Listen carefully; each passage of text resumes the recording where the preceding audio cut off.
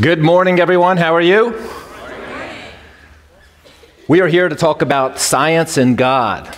Now, in the past 100 years, we have made more scientific advances than in all of human history. It is truly remarkable. But unfortunately, what we're going to see is that we've turned those advances around, we've turned those revelations around, and actually used them as a weapon against God instead of giving glory to God. When I was in um, college, I studied cellular molecular biology. That was my major. And we were studying this gene just for a very simple uh, bacteria. And the gene regulation was so complex, so intricate, with so many interdependent parts, that I went to the professor. Now, I'm not a believer at all at this time, guys. I'm far from the Lord. I was, I was really bad. And um, I said to him, I said, there ain't no way that this could evolve. It's impossible. I said, there's too many parts. It just, it's, it's designed. You can see it. And I wasn't trying to find God or anything. And he looked at me and he said, You're right. And I said, Well, then how did it happen?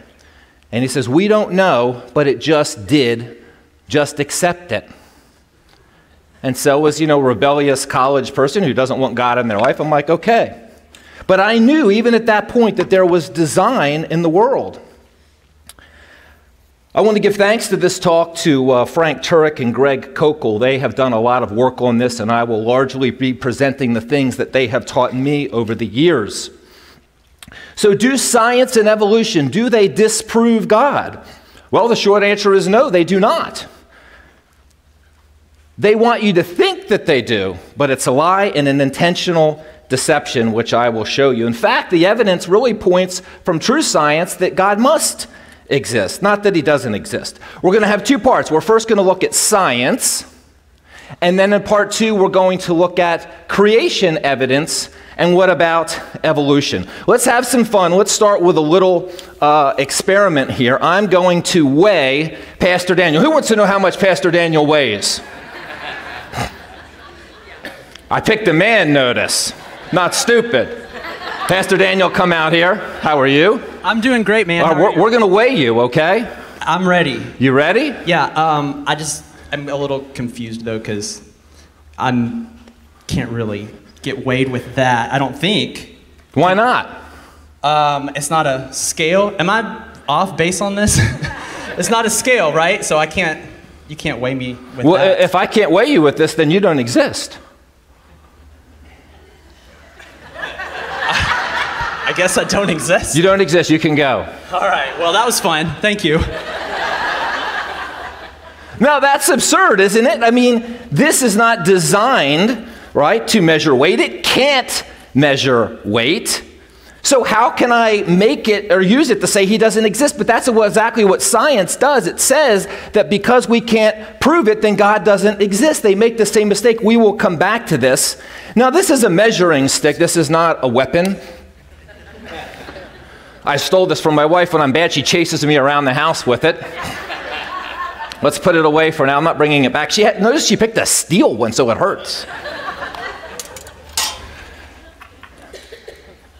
So, what is science? We need to define it because this term is used to beat down anything that invokes God or the supernatural these days. What is it, and is this definition legitimate? Well, first of all, science is a methodology. Okay? Science is a methodology, it is a basic philosophy for determining and gaining knowledge of the material world that we see.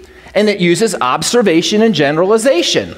Right? It's called the scientific method, where you formulate a hypothesis, you do an experiment, you gather data, you replicate that uh, experiment, and then you come up with a theory. That's what science actually is. I can, I can tell you that that's true. I did it. In medical school, I did scientific research in a biology lab. I published four papers as the first author doing this exact type of replicative research, repeatable experimentation. Okay? So I, I have the authority to speak on this. But there's also another form of science that they don't want you to know about that's different. It's called historical or origin science. And that's where you can't repeat anything, you can't do experiments. You just look at some data and come up with your own theory about what happened in history, things in the past. And this is completely different, and it's an important distinction because everything with supernatural God falls into this category, you see. The first thing you need to know about science is this science doesn't say anything, scientists do. Remember that. Science itself doesn't say anything, scientists do. People who have made an interpretation of facts. So don't let anyone tell you that science says this or science says that. No, no, a scientist says it, not science itself. And this is very important because there's another form of science, and now it's not really science, but they've called it science, and this is science the philosophy. This is the second form of science that's not really science. They've labeled it that way. Well, what is this? This has five components to it. This is a theory that says only science provides reliable truth. That's their theory of the existence of our universe. Only science provides reliable truth. Now, this sounds very high minded and good, doesn't it? We experiment and we figure out, you know, what things are, and that's how we know truth in the world. But it's not, it's not, it's not accurate. And I'm going to show you why. Now, number two, this theory assumes that there is no supernatural intervention in the world. There is no God, that all things are governed only by natural law. It assumes it as fact. Richard Dawkins, who's a famous atheist, let me read you a quote from him.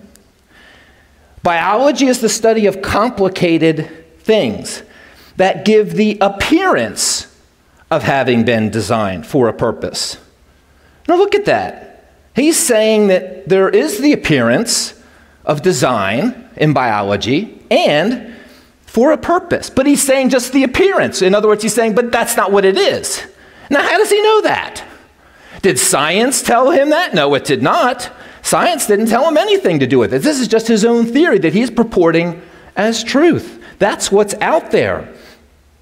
Number three, it assumes that natural is 100% natural. What do I mean by that? Well, the Bible says that God holds all things together by the power of His Word. That would mean that when you cut yourself, it doesn't necessarily heal on its own, that God is probably active in everything, even the beat of your heart. They assume that, that when you cut yourself and it heals, it just heals by itself because it heals. But what if God is holding all things together by the power of His Word and He's active in everything, even the beat, very beating of your heart? We don't know. They don't know that, that natural is 100% natural. Here's the fourth thing that they do with this anything that doesn't conform to this theory that there is no supernatural intervention in the world, only natural laws are true. If it doesn't conform to that, then it's not scientific. Now, isn't that clever? Because science isn't saying anything bad about creation or intelligent design or God. And remember, science doesn't say anything at all. It's scientists that are saying it. But they put this label on there, not scientific, if you invoke anything supernatural or God. Now, this is not a tested fact of science at all. That's these statements here uh, about that there's no supernatural intervention in the world and everything's governed by natural. That wasn't that's not even proven by science. What they've done this is a philosophy of life, guys, or a, its own religion that they have labeled as science to give it credibility. They have hijacked the term of science to bring intellectual sophistication to their worldview as a weapon against God. Because it has nothing to do with science. Yes, scientists are saying it. Let me give you an example of how this works. I'm going to do a little dialogue back and forth here between two people? How did we get here on earth? Someone asks. What? From evolution in millions of years. Duh. Everybody knows that. Well, I believe that God created us and the entire universe. The actual evidence strongly favors creation, not evolution. What? That's not scientific. That's religion invoking God. Science has proven we evolved over millions of years from Darwin. Only science provides reliable truth. Hmm. This is very interesting. Now, notice several things here in this little exchange. some of which I've already pointed out. Number one, this person is assuming that science is on their side, aren't they? Science doesn't really have a side. Number two, they use not scientific as a negative blow to that person's view about creation, didn't they? It was a, it was a negative jab. That's not scientific. Hmm. They're labeling the other view as religion, not science. It Doesn't make any sense just because what if, the, the, what if the, some of the evidence does point towards that there's a God who exists and we know that's true? Does that make it not science and religion? No. He's assuming science is the only way to provide reliable truth. I'll show you that's false. And he falsely stated that uh, science has proven evolution. That definitely ain't true. We'll get to that in the second part. So, all these things are unjustified. This is trickery here with this science, the philosophy, being used against God when it has nothing to do with science. They've labeled the term science and put it on there to trick you into thinking you're not intellectual if you believe in God. Now, here's the problem for them there are three fatal problems for this science, the philosophy. This idea that only natural things occur, there is no supernatural. Number one, science, the philosophy, commits suicide. It kills itself. It's a self defeating argument. Let me show you why. It can't pass its own test. It can't pass its own test. Science is the only source of a reliable truth, cannot be proven by the scientific method. Here's a box of truth. Everything that is true is going to be put into this box, and it has to filter through the scientific method to get in there. That's what they're saying. Right? Only science provides reliable truth. So, and nothing gets in this box unless it is filtered through science. But the trouble is their theory, their philosophy can't get in there. It can't be proven by the scientific method. It's a self defeating argument. And it's worse than that for them. It's much worse. Science is stealing from God in doing this. Science doesn't operate, guys, in a vacuum. Science can only be performed by scientists by stealing several immaterial realities from God. The order of natural laws, the laws of mathematics, the laws of reason, the laws of logic. They're not proven by science, they're already in this box. If they didn't exist, science couldn't be done. They're stealing from God. They're depending upon the supernatural to exist and these higher things to exist to even do science at all. And they don't even realize it. Number two, science can't measure the supernatural. We started off with this example, right? Science can't rule out anything about the immaterial world. It's, it's like this, this um, yardstick here. It's not designed to do that. Right? It's like trying to m- measure the weight of the man with this yardstick. It doesn't work. So you say the man doesn't exist. It's crazy. Science says God doesn't exist because they say they can't prove that he's there. It doesn't make any sense. Ruling out, guys, what can't be proven by science is circular reasoning. I don't see the invisible man, so he's not there. Science has never ever advanced empirical evidence against God and the supernatural world. It has only assumed, assumed that it is not there. Not once has it ever advanced any empirical evidence against God. And number three, this philosophy of science has the whole system rigged. It's rigged any evidence from actual science, from the scientific method, real science, that points towards creation and intelligent design, and there's a lot of it, I'm going to show you some of it, is automatically disqualified as religion. Real data. Modern science has not concluded from the evidence that design is not a tenable theory it is only assumed that it's true. How unscientific, how ironic that so called scientists are dismissing evidence. In fact, it's worse than that. They've impeded science. When I studied DNA back in cellular molecular biology, at that point there was something called junk DNA.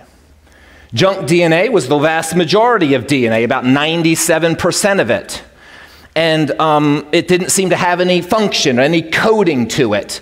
I can't get into the details of DNA today, but and, and, and all the evolutionary people said, see, that's the evidence for evolution, that, that over time this DNA was used and used and used and it kind of accumulated as junk. So the 98% evident, uh, junk DNA that's not being used by the body is evidence for these millions and billions of years, you see.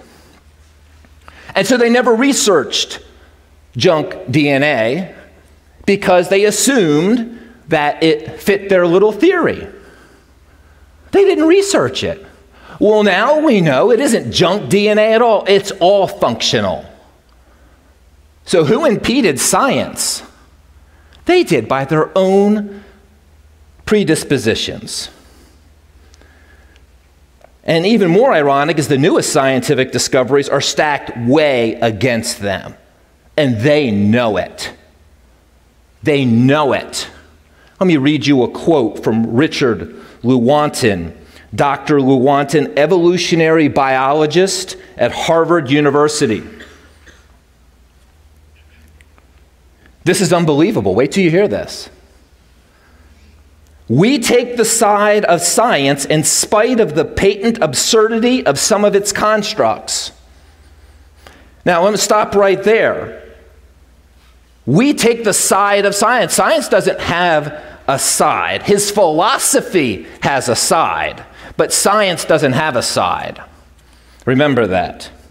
In spite of the tolerance of the scientific community for unsubstantiated commitment to materialism, we are forced by our a priori adherence to material causes to create an apparatus of investigation and set of concepts that produce material explanations, no matter how counterintuitive, no matter how mystifying to the uninitiated. And then he gets to the point. Moreover, that materialism is absolute, for we cannot allow a divine foot in the door.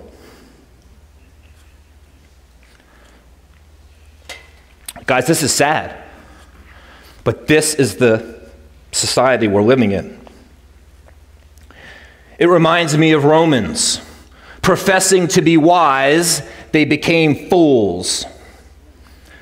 For the wrath of God is revealed from heaven against all ungodliness and unrighteousness of men who suppress the truth in unrighteousness, because what may be known of God is manifest in them, for God has shown it to them. For since the creation of the world, his invisible attributes are clearly seen, being understood by the things that are made his eternal power and Godhead, so they are without excuse.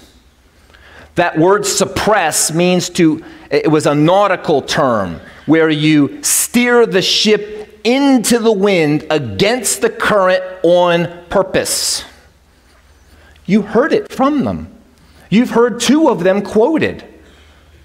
The appearance of design. He knows it looks like it's designed. And then you heard it from Dr. Lewontin. No matter how counterintuitive, no matter how mystifying, we cannot let God in the door. How unscientific is that? In the face of evidence, they know it's there. Why do you think he's saying that? Let's move on to part two. So, what about creation, evidence, and evolution? The two are related. The two are related. There's three fatal problems for evolution. Three of them. Number one, Darwin proved nothing for evolution of the goo to the zoo to you. The idea that there was a big bang where everything came from nothing, and over millions and billions of years that expanded into this universe that we have, and somehow life evolved. That's called from the bang to the goo to the zoo to you. Right? Now, just stop for a minute. What's more hard to believe? That everything came from nothing by chance and somehow evolved into this? Or that God did it? That's not an escape patch. Well, you, are making God, invoking God. Well, I mean, what's more, what takes more faith to believe? Come on.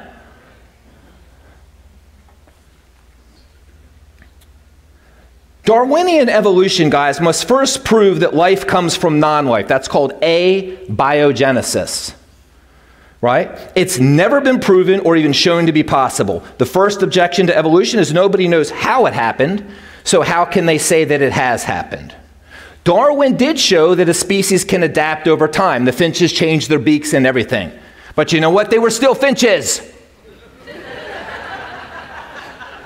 People don't realize that. They made a jump from finches changing minor characteristics, which is true, microevolution, if you want to call it that, to somehow everything came from nothing and everything evolved. It's ridiculous. They were still birds. Darwin did show a species can adapt over time. Macroevolution, this idea that, that, that there's a new species transforming into new ones, it's not happening now, and there's no evidence that it happened in the past. The transitional fossils that they need aren't there. They don't have them. Don't let any of them tell you that they do, and they know it. And then there's things in biology we could spend all day on this called there's something called an irreducible complexity. I talked about it a little bit at the beginning, this idea with some things in biology where, you know, if it if it's if nothing works till it all works. The system doesn't work unless all the parts are there, but you can't sequentially bring the parts in because the system wouldn't work, it wouldn't function. There's lots of them. In the DNA, for example, the, the reader, the coder for the DNA is encoded on the DNA. So if you need the coder to decode it to make the coder, where did it come from? It's a chicken or egg thing. There's no explanation. There's no way that it could evolve to fit in there because it's encoded on the DNA. It comes from it. I mean, it's crazy. Well, someone objects and says, no, wait a minute. I've got you here, Dr. Viehman, because chimp DNA is 98% the same as humans. Chimp DNA is 98% the same as humans. Well, that's true.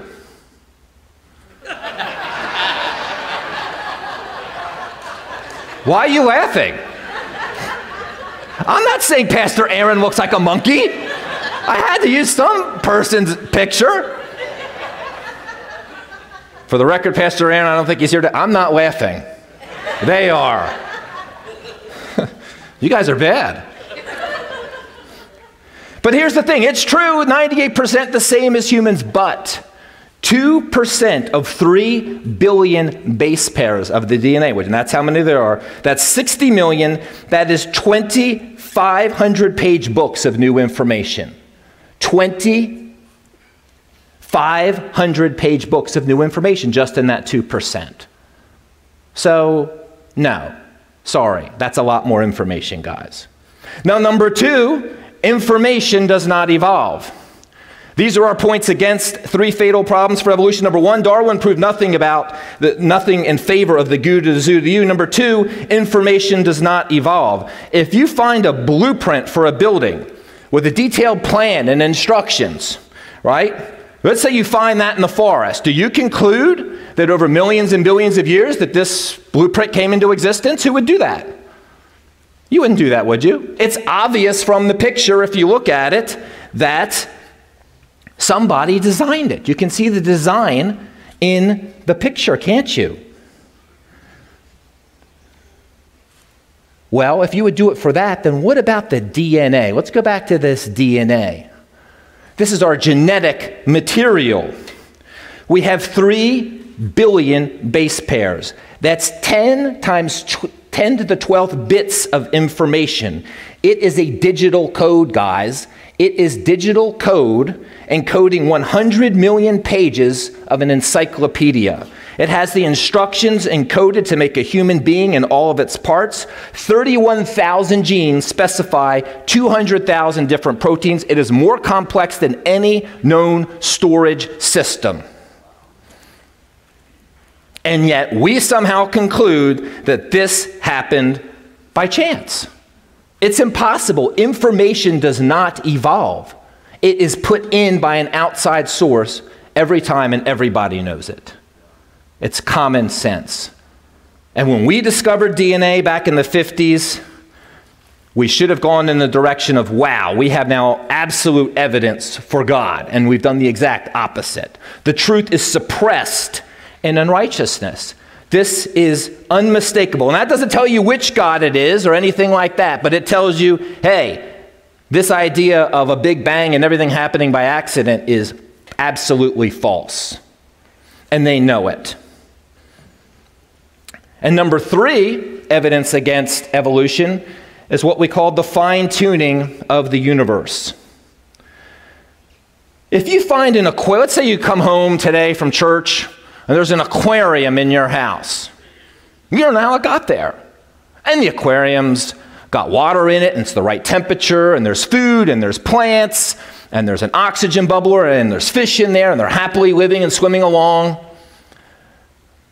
So it's the perfect habitat for life.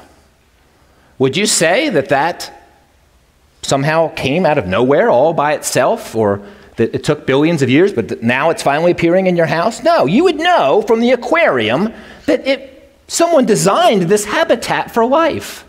It's got all the right ingredients. Everything's perfectly attuned for those fish to live. And yet, when we find in our universe, cosmologists have calculated the odds of a life friendly universe appearing by chance are less than 1 in 10 to the 123rd. I can't even give you an analogy to tell you how unlikely that is. We've heard some other analogies, right, with the silver dollars in Texas and like that, and you're picking one out. This is way beyond anything like that. There is no analogy. That's 10 raised to the power of 10 with 123 zeros after it. In other words, the laws of the universe, guys, match the narrow band of parameters required for life. And it's finely tuned. And they know it too. Listen to what atheist cosmologist Fred Hoyle says. A common sense interpretation of the facts suggests that a super intellect has monkeyed with physics as well as with chemistry and biology. He knows it. Because if you change one tiny thing with almost any constant or, or, or scientific constant, the, the weight of a proton, the gravitational force, any of these things, by a teeny fraction, we wouldn't be here. And there's so many of them. It's overwhelming. Gravity, the weight of a proton, the weight of an electron. It's like, it's like shooting a bullet across the universe and hitting the bullseye. That's what the odds are. So the evidence is overwhelming. And in the past 100 years, the evidence is way against Darwinian evolution. But the scientific community refuses to accept the data. How unscientific to put their own term back on them. So let me summarize for you. Number one, science can't measure the supernatural. That's not supposed to. It can't. Number two, science can't pass its own test as the only source of truth. Number three, science, the philosophy, is nothing more than an atheistic worldview labeled as science. That's all it is. Number four, science doesn't say anything, scientists do, don't forget that. Number five, modern experimental science, real science, has advanced evidence that God must exist, for information does not evolve. And there's a movement now towards intelligent design in parts of the scientific community. They've had to admit it, especially the DNA people, they know it. Now, they're not saying which God or anything like that, but they're saying, look, this did not happen by itself. There has to be a higher power. And let me just give you a little advice when dealing with this. Remember what I've told you and put them on the defense. Well, that's not scientific that you believe in God. Don't go into some dissertation defending what you believe. Say, well, what do you mean by that? What, what, explain. What evidence do you have to say what I'm saying isn't scientific? Make them explain it and watch what happens. Most of them won't be able to say anything. Make them make the case for why they're against you. Say, present to me your evidence that God doesn't exist. Don't go answering every little thing that they have.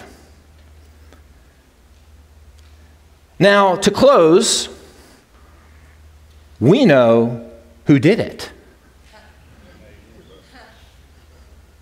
So we're not going to just give a talk on science and end there. Uh uh-uh, uh, not here at Coastal. Nope. In the beginning was the Word, and the Word was with God, and the Word was God. Through him all things were made, and nothing was made without him that was made. In the beginning, God said, Let there be light, and there was light. Jesus Christ spoke the world into existence. The Father thought it, the Son spoke it, the Holy Spirit empowered it.